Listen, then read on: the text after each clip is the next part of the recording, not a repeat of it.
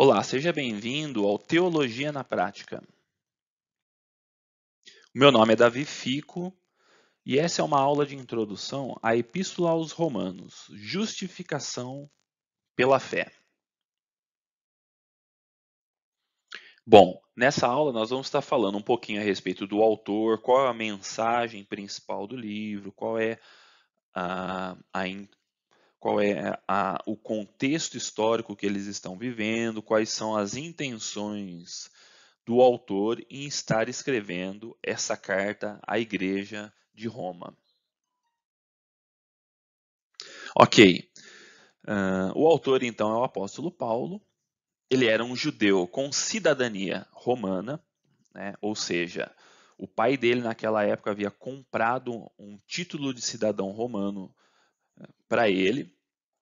E ele ainda não havia visitado a igreja de Roma. Então ele tinha um, forte desejo de fazer uma visita à, à igreja de Roma, da onde vai surgir essa carta que ele escreveu. A carta foi escrita por volta de 57 depois de Cristo e demonstrando essa intenção, também demonstrando essa intenção que ele tinha de, tar, de estar visitando a igreja de Roma. Uh, essa carta dos Romanos ela, é, ela uh, está dentro de um conjunto de cartas que são consideradas epístolas do Evangelho, como por exemplo Coríntios e Gálatas. Né? Ela possui um pseudônimo de o Evangelho segundo Paulo, e Paulo está provavelmente escrevendo essa carta em Coríntios, né? em Atos capítulo 20, é, versículo 3, nos dá um pouco dessa ideia de que uh, numa segunda viagem que ele estava fazendo é, à igreja de Corinto, provavelmente ele tenha escrito essa famosa carta. E a intenção dele ao escrever essa carta é expor o evangelho que ele havia recebido do próprio Cristo para a igreja de Roma. Então, olha só, Gálatas 1, é, 11 e 12 nos dá mais ou menos essa ideia, onde ele vai dizer assim: Faço-vos, porém, saber, irmãos, que o evangelho por mim anunciado não é segundo o homem, porque eu não recebi, nem o aprendi de homem algum, mas mediante revelação de Jesus Cristo. Então, ou seja, ele havia recebido o evangelho de Cristo e a ideia dele agora era transmitir esse evangelho não só à igreja de Roma, porque ele fez isso para outros, para outros povos, outras províncias, mas também entregar esse evangelho à igreja de Roma, a qual ele tinha possuía o desejo de estar visitando.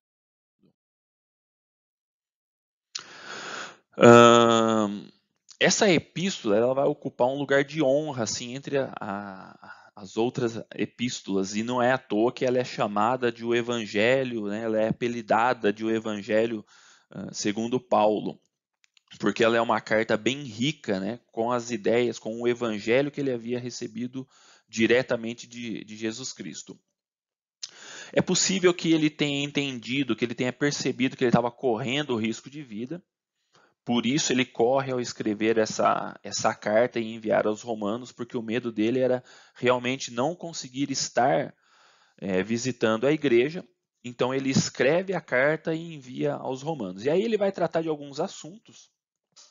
Olha só, aí aqui nós estamos dividindo esses assuntos uh, para que a gente possa, na, nas outras aulas, estar estudando com, com calma, mas ele vai tratar de alguns assuntos, como por exemplo, a necessidade universal da salvação, o que, que Deus fez pela nossa salvação, como Deus projetou a salvação e como ele entregou a salvação para o homem, a nova vida que nós somos convidados a viver em Cristo, qual é o plano de Deus para a vida dos judeus, né? o apóstolo Paulo vai tratar é, do judaísmo uh, nessa carta para essa igreja, porque é um, uh, na igreja de Roma haviam muitos judeus ali também, e ele vai falar a respeito da vida cristã como um todo.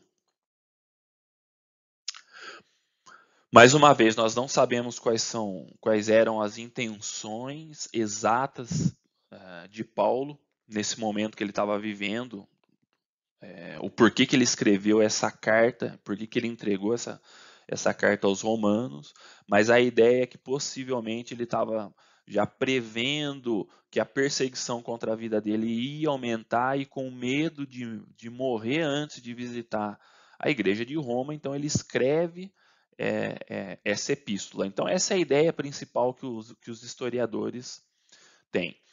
A epístola não vai tratar de nenhum assunto, nenhum problema da igreja em específico. A igreja de Roma não estava passando por um problema específico, como, por exemplo, uh, o que Paulo trata lá na igreja dos Coríntios. Porém, como toda igreja, tanto hoje como na época deles, toda a igreja tem os seus problemas, toda a igreja tem, digamos assim, os seus pontos heréticos que precisam ser tratados através do Evangelho.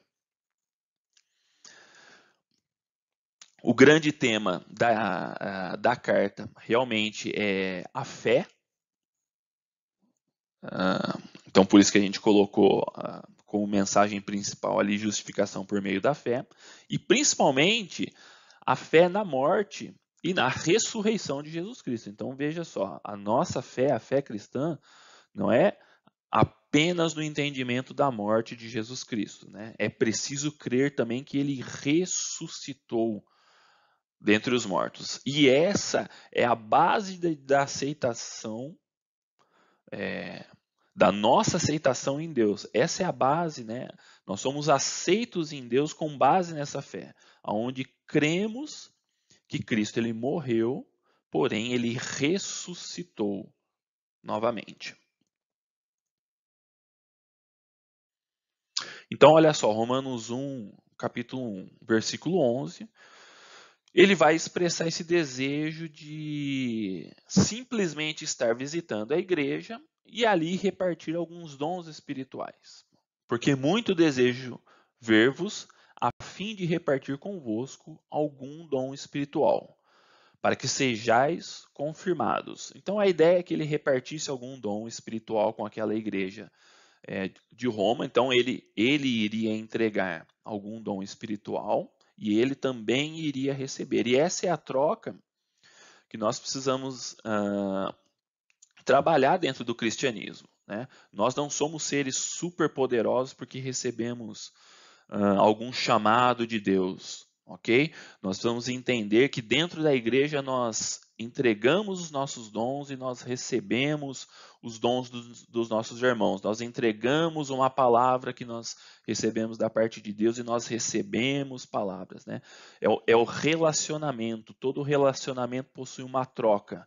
Você recebe, mas você também dá. A, a, o cristianismo não é apenas nós irmos à igreja receber algo, mas é nós irmos à igreja entregar algo que Deus também está fazendo na, nas nossas vidas. Bom, uh, vamos começar a tratar um pouco da mensagem que o apóstolo Paulo ele vai é, entregar para essa igreja e Paulo não vai medir palavras quando ele vai uh, falar com uh, a essa igreja, ok? Paulo ele era um apóstolo que ele não media palavras, né? se ele precisava anunciar uma mensagem contra o pecado, ele iria anunciar mensagem contra o pecado. Se ele fosse combater alguma heresia, ele iria combater alguma heresia. Então Paulo ele era o tipo de pregador, de teólogo, de apóstolo que não media palavras para falar com a igreja. Aquilo que precisava ser dito, ele dizia e é, entendia que aquilo era da parte de Deus e ponto final e, e, e acabou. Ele, tra ele tratava de, uh, dessa forma. E é o que ele vai fazer é, com essa igreja, como nós já falamos, apesar de ele não ter um ponto específico para tratar, mas ele vai falar a respeito de alguns assuntos e ele não vai medir essas palavras. Então, pelos padrões de Deus, então ele já começa assim. Os primeiros capítulos é papuft. Pelos padrões de Deus, todos nós estamos condenados, independente se você é gentil ou se você é judeu. Então, até você que é judeu, que, que entende que você segue uma lei, que você tem alguns padrões, uh, alguns padrões é, morais, você também está condenado. Sem Cristo, todos estamos condenados. E essa é a, a ideia que o apóstolo Paulo ele vai começar a trabalhar. Uh, E aquilo que nós não, puder, é, não podíamos fazer por nós mesmos, porque ao homem é impossível salvar-se a si mesmo, aquilo que nós não podíamos fazer por nós mesmos, Cristo fez por nós. Jesus Cristo fez por nós. Nós estamos livres para começar de novo, porque Cristo morreu, percebam, né? Cristo morreu e ressuscitou por nós. Então é isso que nos dá a condição de podermos andar uma vida cristã em liberdade. Vai tratar isso ali por volta do capítulo 5, capítulo 6 e capítulo 8. E ele possuía uma preocupação. Qual que era a preocupação do apóstolo Paulo? Por que os gentios têm tanta facilidade em entender essa mensagem e os judeus não? Paulo, como um, um, um judeu, né, como ele vai falar a respeito dele mesmo, né? Judeu de judeus, fariseu de fariseus, instruído na lei, ele tinha também uma dor no coração dele que era porque o, o, o meu povo não está conseguindo entender essa mensagem de amor tão simples e tão clara. Então isso era uma preocupação. Por que, que os judeus estavam rejeitando a mensagem uh, de Cristo? Por que, que eles estão tão preocupados com a obediência à lei? Por que eles não conseguem ver esse algo novo que Deus fez a respeito uh, de Cristo? E aí eles consideravam que a forma que não. É, uh, e eles consideravam que isso era algo que eles não podiam uh, abrir mão, né? Desse, desse, de, uh, desse cumprimento cego a respeito das leis. Então era algo que o judeu tinha dificuldade de se desvencilhar. Mas no final, o apóstolo Paulo vai trazer a esperança de que os judeus também entrariam, também receberiam a graça por meio de Jesus Cristo. Ele vai também tratar do perdão e do amor de Deus, né, o quanto o perdão e o amor de Deus é, é importante e são eles que nos impelem a essa nova vida, a esse novo chamado é isso que nos traz para a próxima, é isso que nos, nos torna cristãos, que vai nos acolher. E que as boas novas de Deus não são um, um, um, fim em si mesmo, mas elas possuem um propósito de, tar, de estar transformando a vida de cada ser humano, seja ele é, judeu ou seja ele gentil. Bom, vamos estar tá olhando agora um pouquinho para o contexto da cidade de Roma. Primeiro século depois de Cristo. Então eu quero que você entenda que ela era uma cidade grande, uma cidade com cerca de um milhão de pessoas é considerada uma cidade já grande. Talvez não para os, é, padrões de hoje. Nós temos cidades aí com um milhão e meio de habitantes que começam a ser consideradas é, cidades grandes, mas nada que se compare a Nova York, São Paulo, Tóquio, ok?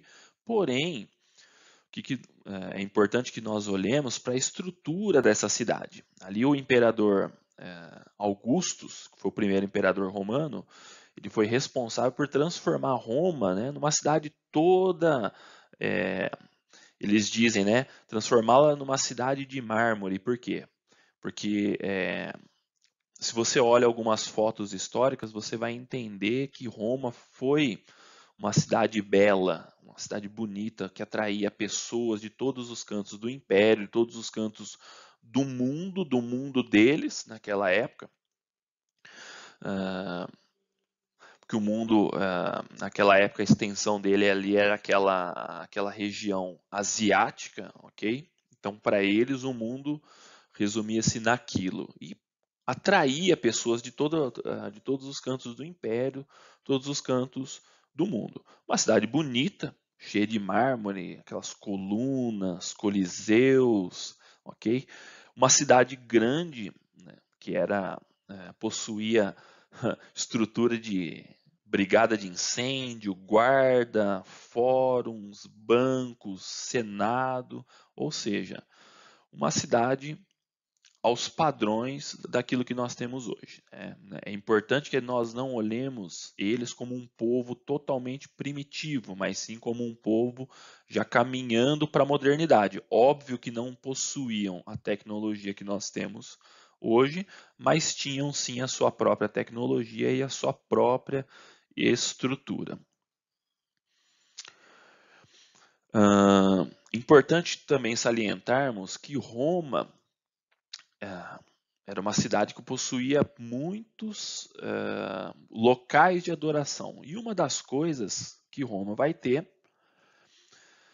eram templos pagãos e, altar, e altares de adoração à deusa da paz, é, chamada de deusa Pax, é, cujos romanos se gabavam é, a respeito de um termo que era chamado de paz romana ou pax romana.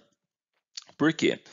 Porque através de toda a tecnologia que eles tinham, Uh, todos aqueles sistemas de viagem, a cidade, a, a, as estradas que Roma havia construído e pacificado. Que pense só, uh, em todo o império, o que, que Roma havia feito? Roma havia ligado as cidades por meio de estradas.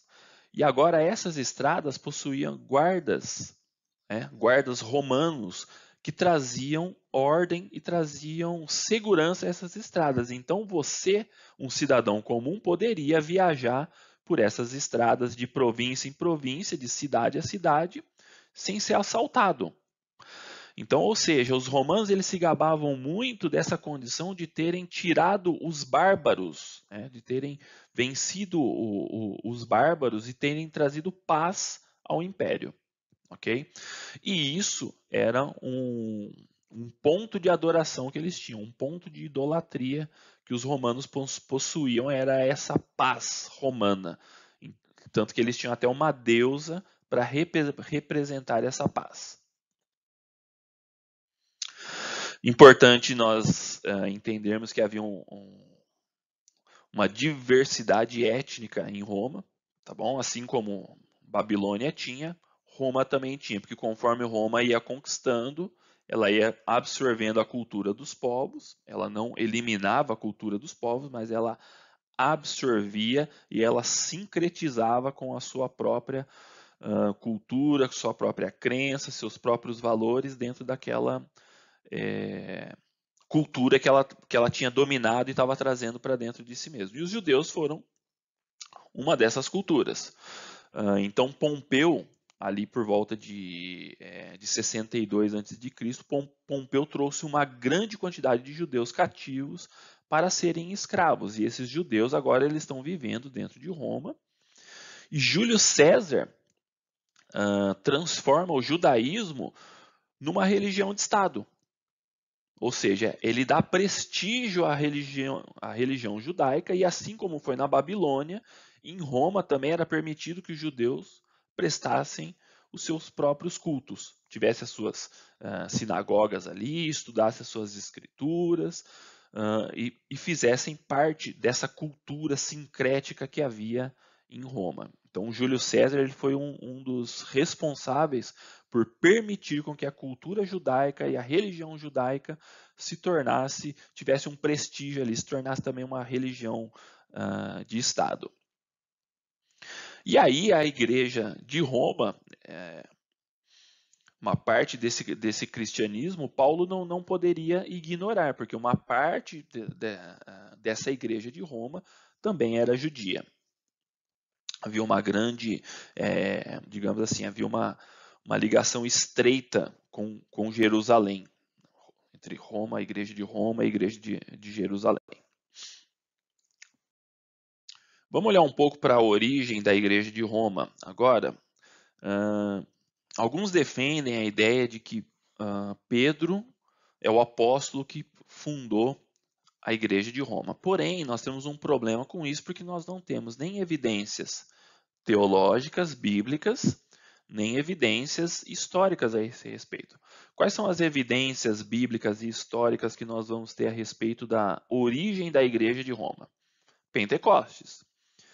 Você vai lembrar comigo, por volta ali do capítulo 2, versículo 10, que no momento onde os apóstolos eles recebem o dom do Espírito Santo e eles começam a falar novas línguas, essas línguas são línguas de povos e etnias que estavam por todo o império. Ok? Então, ou seja, havia uma, representa uma representação da intenção de Deus de espalhar o evangelho pelo mundo. Esse é o, esse é o principal foco das línguas. Né? o principal foco das línguas é a intenção de Deus de espalhar o evangelho a toda criatura, a toda língua, a toda cultura. Esse é o objetivo do, do cristianismo, do evangelho.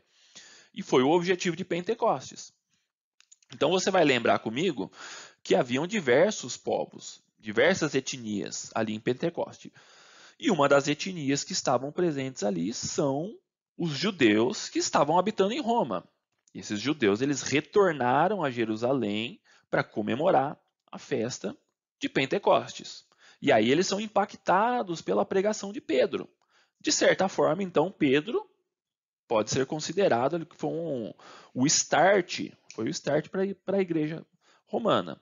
Porém, não que ele tenha ido lá implantar a igreja em Roma, mas porém, né, por meio da, da pregação que foi feita, onde ele se levanta e ele começa a explicar, fala, olha, esses homens, eles não estão bêbados, mas sim é o cumprimento da palavra que veio por meio do, do Senhor através do profeta Joel, uh, que diria que o Espírito seria derramado em toda a carne. Então, esses judeus, agora ouvindo essa mensagem, o que, que eles fazem? Eles retornam para Roma e eles começam o cristianismo, eles começam a igreja de Roma a partir desse movimento de Pentecostes. E aí Paulo ele ia ter a, a, a, o desafio de escrever é, a sua carta a esses cristãos de Roma, observando o, o, o, o judaísmo uh, ali, né, e toda essa representatividade que havia dentro dessa igreja, tanto de gentios quanto de uh, de judeus. Paulo também possuía o desafio de combater heresias como ascetismo, dualismo uh, uh, e diversas outras outros ou, diversos outros pensamentos místicos que poderiam, que estavam, né, e, e, que nós sofremos às vezes até hoje, né, principalmente o dualismo. Uma das coisas que a igreja mais sofre nos dias né, na, naquele período e sofre até hoje é o dualismo de Platão, onde você entende que tudo aquilo que é espiritual é melhor do que aquilo que é físico e material. E nós vamos ver uh, por, ao decorrer de outras aulas que essa não é uma ideia cristã, não é uma ideia que a Bíblia uh, defende.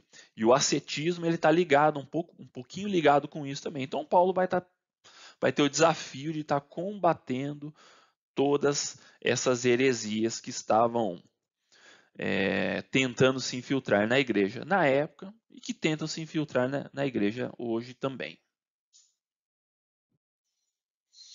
A presença judaica na igreja é, de Roma, então, também seria um do, é, uma das oportunidades que o apóstolo Paulo estava vendo de poder defender o evangelho que ele cria e que ele estava pregando diante dos judeus também. Ele havia sofrido há um tempo atrás é, algumas calúnias de alguns judeus é, dizendo que ele era um falso apóstolo, que ele não havia andado é, com Cristo, de que não conhecia Cristo, que foi um perseguidor da igreja. Então, essa também seria uma das uh, oportunidades que ele teria de estar tá defendendo o evangelho que ele estava pregando e defendendo as intenções que ele tinha para com a igreja como um todo.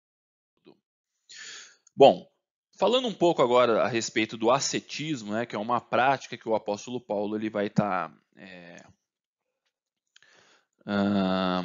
que ele vai estar tá desmistificando, que ele vai estar tá combatendo Uh, o ascetismo, o que, que é o ascetismo para que a gente entenda? O ascetismo é a, ten, a tentativa de se santificar uh, por meio de uma uh, por meio de uma isolação a respeito do mundo. O ascetismo também está bem ligado a, a, ao platonismo e às ideias de, de, que Platão tinha a respeito é, de coisas que são espirituais de, de coisas que são terrenas. Uh, e nós, como cristãos, precisamos entender que isso não é uma prática que a Bíblia defende. A Bíblia ela não costuma fazer essa separação entre, uh, entre corpo, alma e espírito. Né? A ideia bíblica é de que o homem ele é um ser triuno, porém indivisível diferente do platonismo. Inclusive, por causa do, do, do platonismo, por causa de, de alguns cristão, cristãos que eram é, ensinados na, na, na, sabedoria de Platão, eles a, acabaram até questionando uh, a encarnação de Cristo. Então eles acreditavam até, e olha só como isso é perigoso, eles até acreditavam que Cristo era um espírito evoluído e que não possuía corpo. Tá certo? Uh, então, assim, só para que nós tenhamos uma ideia da onde esses pensamentos eles acabam lev nos levando, de você pensar que o espírito é algo que está desconectado do corpo, que está desconectado da alma, essa tentativa de dividir o ser humano achando que aquilo que é matéria é ruim. Então nós precisamos entender que muitas vezes quando a, a Bíblia está falando de carne, a Bíblia não está falando a respeito de pecado. Né? Muitas vezes quando a Bíblia está falando a respeito de carne, a Bíblia está falando a respeito do ser humano, da humanidade, ok? E, necess... e não necessariamente isso é algo ruim, algo pecaminoso. Agora, em alguns momentos, quando a Bíblia está falando a respeito de carne, realmente o apóstolo Paulo está falando a respeito de velhas práticas, ele não está batendo em cima do corpo do homem, ele está falando a respeito de velhas práticas. Então, o ascetismo, ele vem com essas ideias de que você precisa se separar das coisas é, naturais, que você precisa viver uma vida monástica, uma vida é, como, por exemplo, algumas figuras é, que a gente está mostrando no slide aqui, como por exemplo, Lauzi, Sadarta, Uh, Santo Antão, Francisco de Assis, Mahatma Gandhi, né, que são essas pessoas que se isolavam, né, se tornavam ser ermitões, é, uh, meio que uh, abandonando coisas materiais para alcançar uma espiritualidade, quando na verdade o que nós entendemos é que Deus, que é santo, por meio do seu Espírito Santo, santifica o ser humano e o ser humano ele santifica. Isso vai estar muito bem retratado em Coríntios, quando o apóstolo Paulo vai dizer que a mulher cristã, ela santifica o seu marido. Ou seja, é, vai estar muito bem retratado que diz assim, olha só que coisa interessante, vai dizer que o cônjuge, quando ele é uh, cristão, ele santifica o outro cônjuge.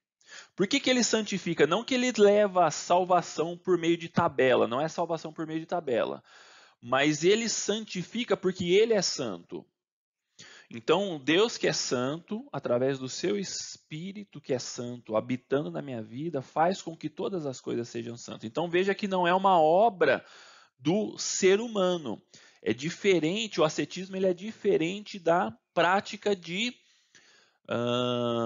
jejum e oração. Ok? Jejum e oração são práticas boas, são práticas que nos levam, que nos aproximam de Deus. Não necessariamente porque eu é, não necessariamente porque eu estou apenas me separando das coisas físicas, mas é porque eu estou me aproximando de Deus. Né? Uh, um dos exemplos que eu gosto de, de, de, utilizar é a conversa de dois cônjuges. Né? Quando você vai conversar com seu cônjuge, você Uh, é bom com que você desligue, por exemplo, a televisão, o rádio ou qualquer outra coisa, ou abandone o celular para que você possa focar na conversa que você está tendo com o seu cônjuge.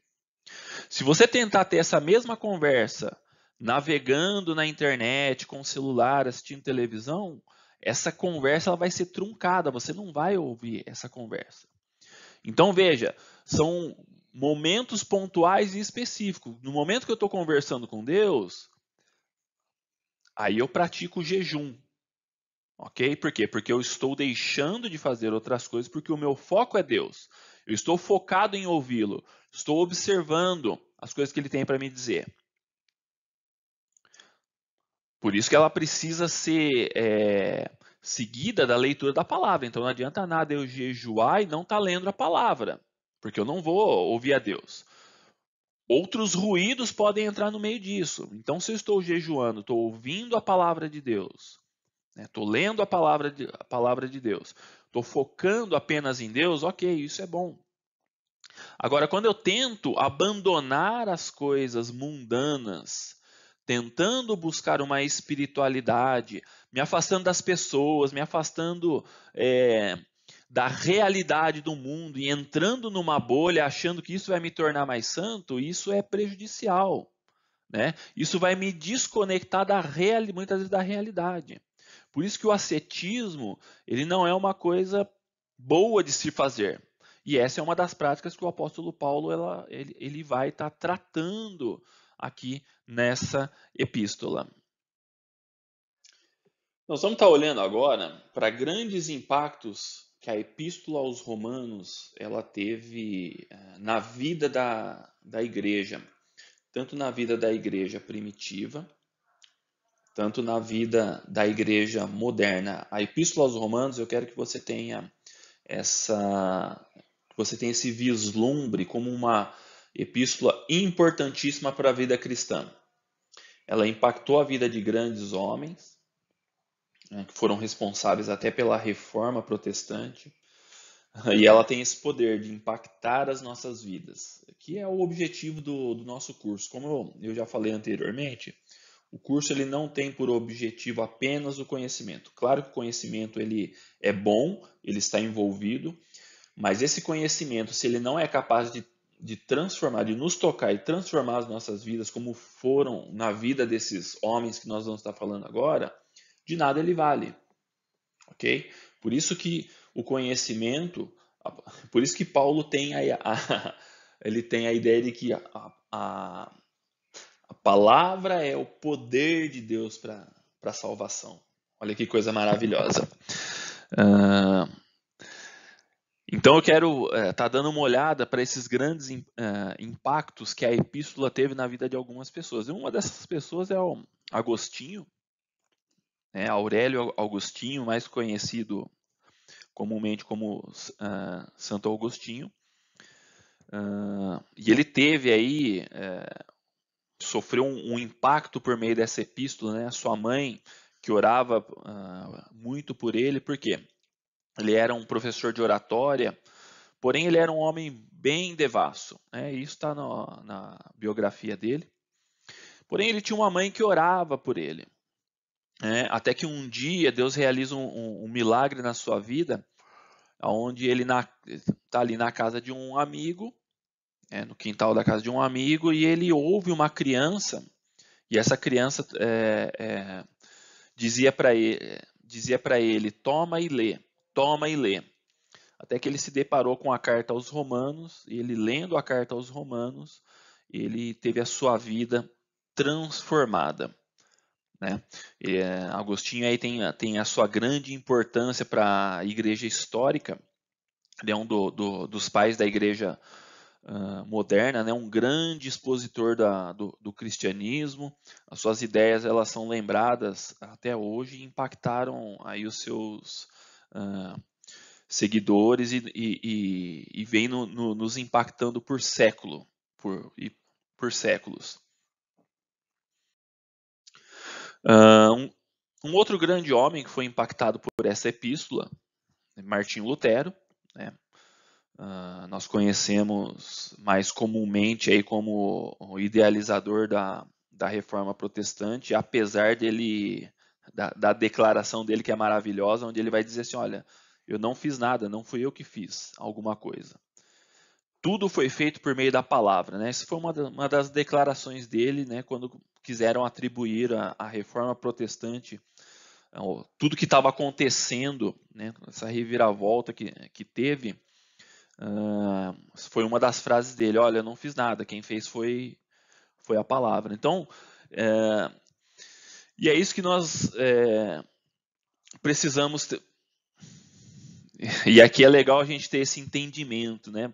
Para para pensar, olha, nós temos a, a jornada da, da igreja de Roma, que passa pelo catolicismo romano, né? Então, ou seja, nós temos ali a saída de Pentecostes, a igreja formada em Roma, tendo uh, uh, um grande impacto também com a epístola que o apóstolo Paulo escreveu e entregou para eles.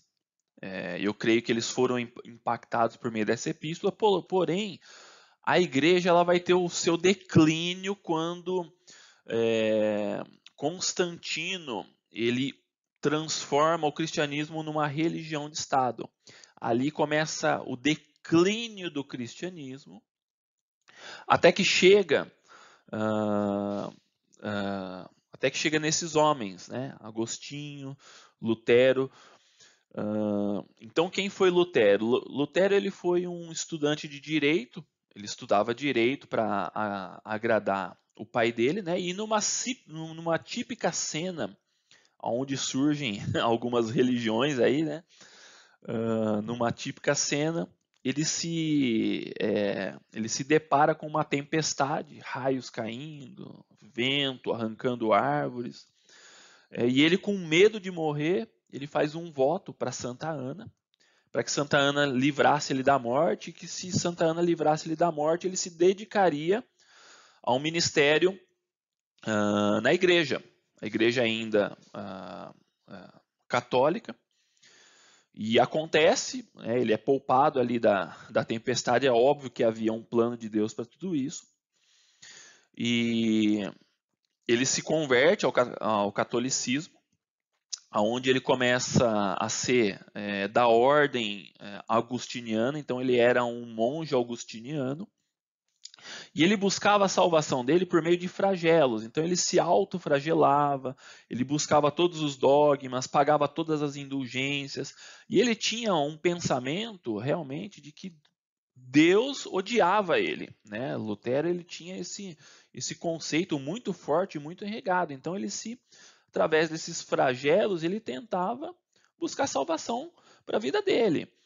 Até que ele se depara com a, Epístola aos Romanos. Né? Então, é, o, o, mentor dele, cansado é, de todas as confissões é, tediosas dele, porque ele confessava é, até um simples é, engano que ele tinha, ele ia lá confessava pro pro mentor dele, né? Aí o mentor dele com é, enfadado dele, falou assim: ó, Lutério, eu vou te mandar para a escola de teologia, você vai lá é, se deparar direto com as escrituras, porque eu não aguento mais você se autofragelando, se culpando é, dessa forma, porque eu não aguento mais as suas confissões. Então, é, Lutero, quando ele se dá é, de frente né, com a exposição da palavra, que é o que nós vamos fazer nas aulas, né? E é isso que transforma o ser humano. Né? Não são as, as, pregações que vão transformar o ser, o ser, humano, mas é a exposição que ele tem à palavra de Deus, à oração. É isso que vai transformar o, o, o ser humano. Então, quando Lutero ele se é, uh, depara com a epístola aos Romanos, é, e aí ele se, se, é, se, vê de frente com essa verdade né, de que o justo viverá por fé ele é tocado pela graça de Deus e a graça de Deus é, uh, transforma a vida dele e ele quando ele é, se depara com é, todas aquelas vendas de indulgência que a Igreja Católica estava fazendo, o que, que Lutero faz, né? Lá em, é, em 31 de outubro de 1517, ele, com base na Epístola aos Romanos, ele é, escreve as 95 teses dele e prega lá na, na igreja de Wittenberg. A porta, né, né, aquela é, imagem que a gente conhece, né, ele com o martelinho vai lá e prega as 95 teses dele na, é, na igreja de Wittenberg, né, que são muito bem representados pelos cinco solas. Então, ou seja, a ideia agora, e, e o protestantismo vai nascer disso, é que é somente pela graça. que nós encontramos a salvação. Somente pela fé, somente Cristo, somente as Escrituras e toda a glória seja dada a Deus. Então, toda a reforma protestante vai nascer dessa ideia, dessa exposição que Martinho Lutero teve a essa epístola de Romanos, escreve suas 95 teses e nasce aí a reforma protestante, onde nós temos essa uh, declaração de fé. E para nós cristãos, por isso que nós não temos é, intermediários, nós não temos santos é, é, que, que, nos. Uh, que nos fazem ponte, né? Por isso que nós não podemos olhar para os nossos é, pastores como uma figura intermediária entre nós e Deus. Por isso nós não podemos olhar para nossa igreja protestante é, hoje achando que ela é alguma espécie de amuleto que vai nos ligar com Deus. Então toda essa ideia nasce por meio da justificação da fé. E aí nós temos os cinco solas: somente a graça, somente a fé, somente Cristo, somente as Escrituras e toda a glória seja dada a Deus. Uh, uma outra pessoa que teve aí um, grande impacto na, na, sua vida foi John Wesley. John Wesley também é um, um, é, é um puritano bem, bem conhecido. Uh, um jovem, um jovem na época, né, e ele numa reunião de oração, é, no dia 31 de dezembro de 1739, né, o Espírito Santo, com grande poder, reveste todos que estavam ali naquela reunião de oração. O local ali era denominado Clube Santo.